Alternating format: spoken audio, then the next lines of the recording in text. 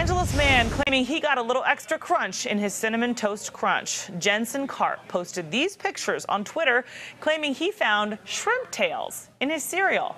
Hours after his first tweet, Karp got a reply from the cereal brand saying what he believed was a shrimp tail appears to be an accumulation of the cinnamon sugar that sometimes can occur when ingredients aren't thoroughly blended. I'm is the thing in his hand supposed to be the shrimp tail?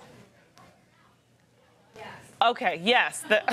The, company is saying there's no way this could be contaminated with shrimp. They are offering to have the possible tails tested. Let's bring in our chief legal correspondent, Seema Iyer.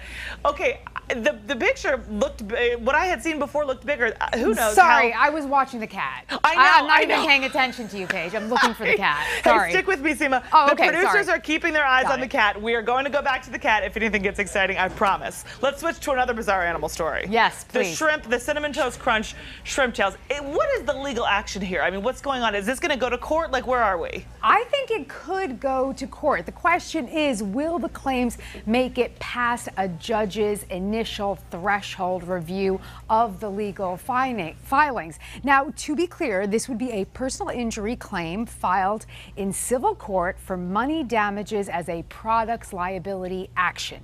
Manufacturers, they have a duty of care Paige and it's owed to customers.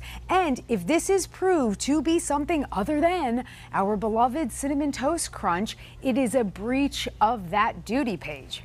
Okay, can we keep on this picture for one second? Yeah. I can't be the only one thinking this. Are the shrimp tails supposed to be those little black check things? No, okay, so that okay, so first there was the shrimp tails, Oh, right? I see Those over in the pinkish things. one, Now here's what happened. Those black marks are allegedly uh, rat Rod- oh no, rodent, rodent droppings, rodent droppings. That's what Oh. that's what he thinks they are. But he but he's not sure, which is why he needs to send this box to the manufacturers, let them test it. Because that's the only thing really that's going to make a judge say, okay, we can look at this and see if it actually happened, right? I mean, if he's not willing to provide proof. Well, okay. So he, if he doesn't for some reason send the packing in, if he has pictures that were contemporaneously taken with the opening of the box, if he saved the box, if he has that uh, stamp on the box to show when it was actually manufactured, that could help him bolster a potential lawsuit.